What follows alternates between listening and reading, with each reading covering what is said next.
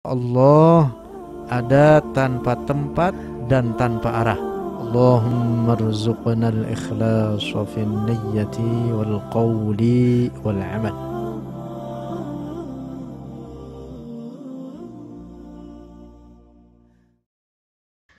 الحمد لله رب العالمين والصلاة والسلام على سيدنا محمد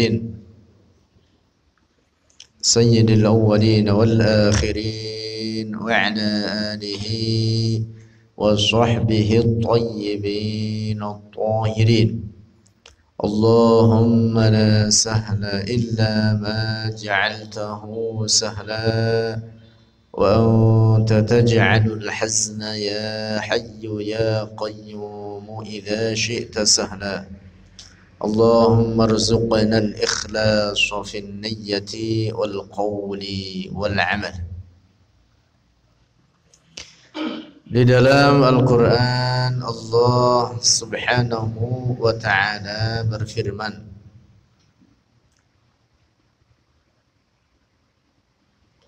وإن أحد من المشركين استجارك فأجره hatta yasma'a kalam Allah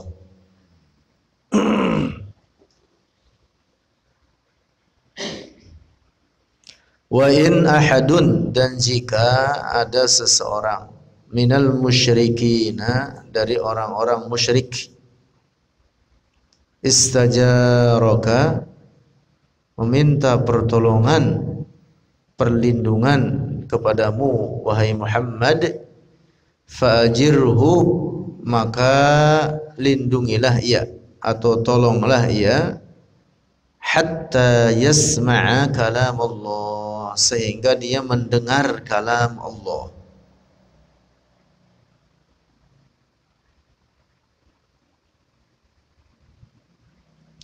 Yang dimaksud kalam Allah di dalam ayat ini adalah kitab suci Al-Quran seperti yang kita baca. Hatta yasma'a kalam sehingga dia mendengar kalam Allah. Yang dimaksud kitab suci Al-Quran. Oleh karena kitab suci Al-Quran kandungannya adalah ajaran-ajaran agama Islam. Yang dimaksud supaya dia mendengar kalam Allah hingga dia mendengar kalam Allah yang dimaksud. Diharapkan bahwa dia mendengar ajaran-ajaran Islam dan diharapkan dia masuk ke dalam Islam. Ini dia. Hatta yasma'a kalam Allah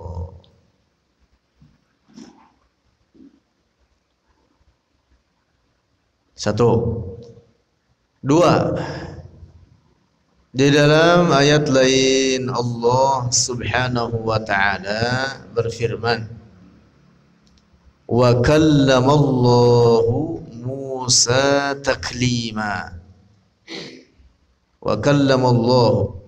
Dan berbicara oleh Allah terhadap Nabi Musa takliman akan suatu kalam akan suatu pembicaraan. Nah, kalam Allah yang dimaksud terhadap Nabi Musa ini adalah kalam Allah yang bukan sebagai huruf, bukan suara, dan bukan bahasa.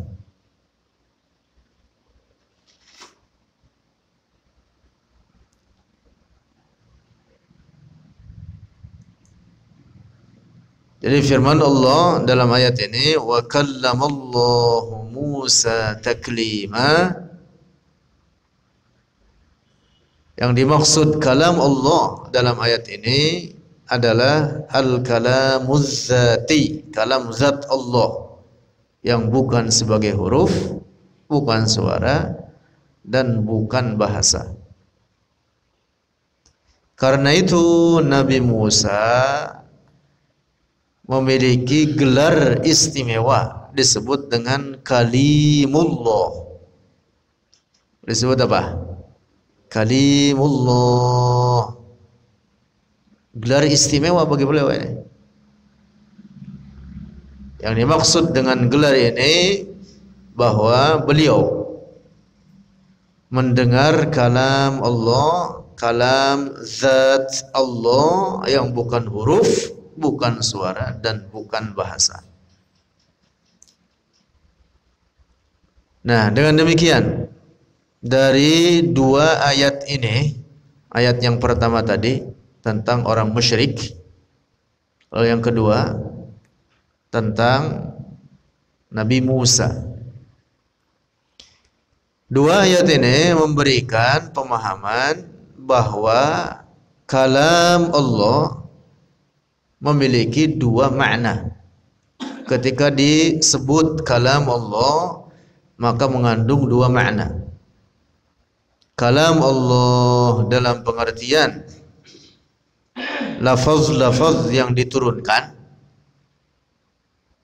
kitab suci Al-Quran yang kita baca yaitu berupa huruf-huruf berupa bahasa Arab ditulis di atas kertas ditulis dengan tinta di atas lembaran-lembaran berbentuk kitab dibaca dengan lidah nah begitu dengan suara dalam bahasa Arab. Nah ini namanya apa? Al-lafzul munazzal lafaz yang diturunkan. Yang kedua ketika disebut kalam Allah adalah yang dimaksud al-kalamuz zati, kalam zat Allah yang bukan sebagai huruf, bukan sebagai suara dan bukan bahasa. Inilah yang dimaksud Nabi Musa mendengar kalam zat Allah sehingga beliau mendapatkan gelar istimewa itu tadi. Allah membuka hijab penutup dari Nabi Musa sehingga Nabi Musa mendengar kalam Allah yang bukan huruf, bukan surat dan bukan bahasa. Nah, dapat dipahami nih. Jadi penyebutan kalam Allah mengandung dua makna. Al-kalamuz zati dan al-lafzul munazzal. Kalam zat Allah dan lafaz yang diturunkan. Nah, lafaz yang diturunkan yaitu yang berbentuk kitab seperti yang kita baca ini itu adalah ungkapan dari sifat kalam zat Allah. Ya, catatan penting. Ungkapan yang menunjukkan kepada sifat kalam Allah yang bukan huruf, bukan suara dan bukan bahasa. Allah Misalkan nih dalam Al-Quran kitab yang kita baca memerintah kita sholat difirmankan olehnya aqimus sholat. Laksanakanlah atau dirikanlah oleh kalian akan sholat. Nah aqimus sholat ini bukan berarti Allah mengucapkan kalimat tersebut Allah berkata-kata aqimus shalah seperti ucapan kita itu. Bukan. Tapi kalimat ini adalah menunjukkan kepada kalam zat Allah bahwa Allah memerintah kepada kita untuk salat. Nah, kalam zat Allah perintahnya tersebut diungkapkanlah dalam bentuk bahasa Arab menjadi aqimus shalah. Nah, jadi kitab suci Al-Qur'an yang kita baca nih yang kita baca disebut kalam Allah dalam pengertian apa? Ungkapan-ungkapan menunjukkan kepada sifat kalamnya. Sifat kalamnya sendiri bukan huruf, bukan suara dan bukan bahasa. Nah, dapat dipahami nih? Nah, pembagian ini wajib kita pahami demikian adanya. sebagaimana disebutkan dalil demikian dalam Al-Qur'an di antaranya dalam ayat itu tadi dua ayat juga oleh karena mengapa harus difahami dua makna ini terkait dengan kalam Allah sebab nanti pemahamannya berbeda antara kalam Allah dalam makna huruf-huruf suara dan bahasa dan kalam Allah dalam makna sifat kalamnya. Dari segi bahwa kalam Allah dalam makna huruf-huruf dalam pengertian huruf-huruf maka dia makhluk. Maka dia apa? Makhluk. Huruf-huruf makhluk bukan? Makhluk. Bahasa Arab makhluk bukan? Makhluk. Nah, tetapi kalau kalam Allah yang dimaksud sifat kalamnya sifat kalamnya maka dia bukan makhluk. Allah memiliki sifat kalam. Kan di sifat 20 ada itu sifat kalam. Salah satunya. Kudroh, irada, ilmu, ayat, sama, basor, kalam. Yang disebut dengan sifat uh, ma'ani tujuh sifat Qudrah, iradah, ilmu, hayat, sama, basar, kalam. Semua sifat Allah tidak menyerupai makhluknya. Semua sifat Allah bukan dalam makna sifat benda, termasuk sifat kalam dalam hal ini. Sifat kalam bagi Allah bukan sebagai huruf, bukan suara dan bukan bahasa. Adapun Al-Qur'an yang kita baca disebut kalam Allah itu dalam makna apa? ungkapan yang menunjukkan kepada sifat kalam Allah. Nah, jadi jangan difahami kalam Allah berupa huruf, suara dan bahasa. Jangan difahami bahwa Al-Qur'an sebagai kalam Allah lalu diyakini bahwa Allah mengeluarkan huruf-huruf. Bismillahirrahmanirrahim. Keluar seperti bacaan kita ba, sin, mim, alif, lam, lam, bismillah. Nah kalau gitu Allah sama dengan kita. Pemahaman rusak demikian itu. Nah, paham tidak ini? Nah, jadi kitab yang kita baca disebut kalam Allah. Bismillahirrahmanirrahim. Alhamdulillahirabbil alamin. Tulisan-tulisan itu disebut apa? Kalam Allah dalam makna menunjukkan terhadap sifat kalamnya. Adapun sifat kalam Allah sendiri bukan huruf, bukan surat dan bukan bahasa.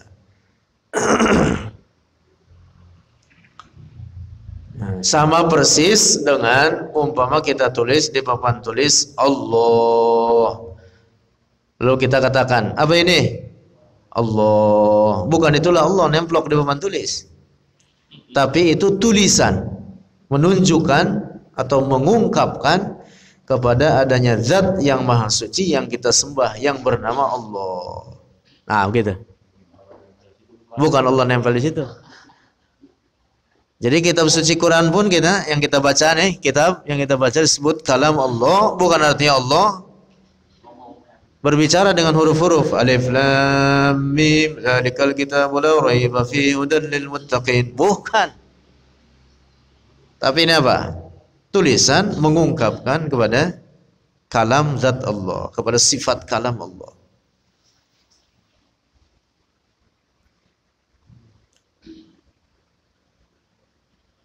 Kalau kita tulis di papan tulis api. Api, apa itu? Api, bukanlah bukan bukan itu api nempel di papan tulis. Bukan. Iya, nempelin rokok di situ gak bakalan ke isop-isop. Seumur umur juga. gak bakalan kebakar. Tapi itu hanya apa? tulisan. Itu hanya tulisan menunjukkan kepada adanya benda yang panas yang bernama api. Nah, begitu. Bukan itulah hakikat api.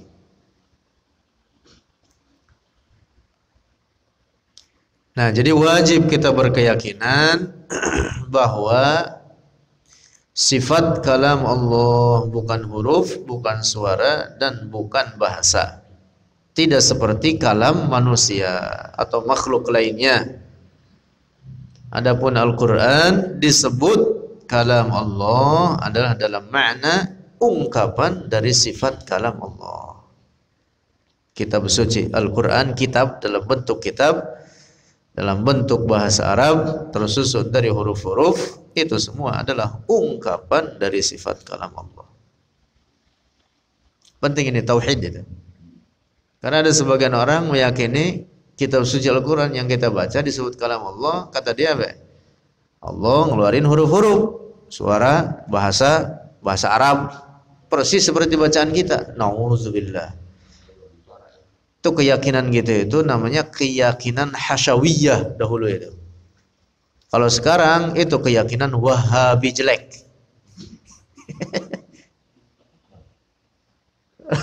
Nauzubillah. Orang-orang wahabi itu keyakinannya begitu. Dia kata Allah berkata-kata dengan huruf suara dan bahasa. Nauzubillah.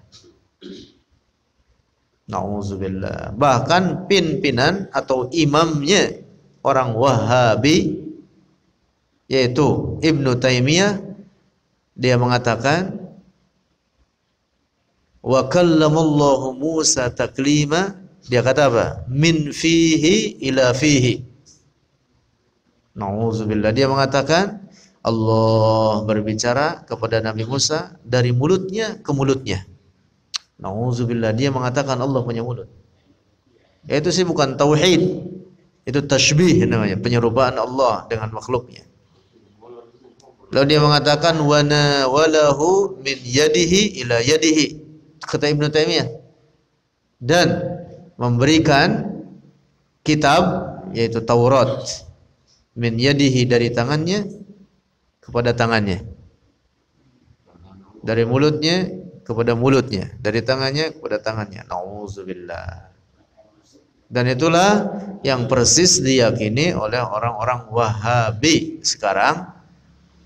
Mereka meyakini Allah punya anggota badan, punya mulut, punya tangan, punya kaki, punya hidung, punya kuping, bahkan kata mereka punya rambut. Nauzubillah. Nauzubillah. Nah, jadi penyebutan Al-Quran sebagai kalamullah yang dimaksud adalah ibaratun anil kalamil zati ungkapan menunjukkan kepada kalam zat Allah hati-hati jangan salah paham ini penyebutan Al-Quran sebagai kalamullah jadi fahami itu ada dua makna kalam Allah itu ada dua makna dengan dalil ayat itu tadi. Jadi ayat tadi itu Al-Quran sendiri menetapkan bahwa kalam Allah mengandung dua makna. Dalam makna al-lafzul munazzal dan dalam makna al-kalamuz zati. Kita baca hadis. Allah ada tanpa tempat dan tanpa arah. Allahumma rzuqna al-ikhlas fi niyyati wal qawli wal amal.